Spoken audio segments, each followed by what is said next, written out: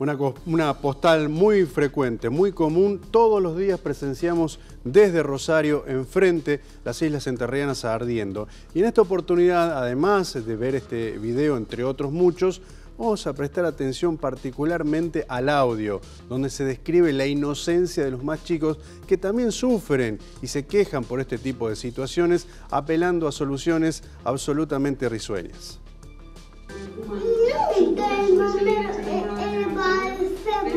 Y no, no, los bomberos no, no, no pueden entrar y va, entran, pero con aviones. Pellegrini al fondo.